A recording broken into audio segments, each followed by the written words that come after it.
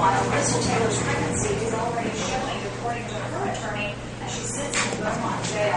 The masked bowler has kept a low profile since saying last month he isn't comfortable talking about the situation.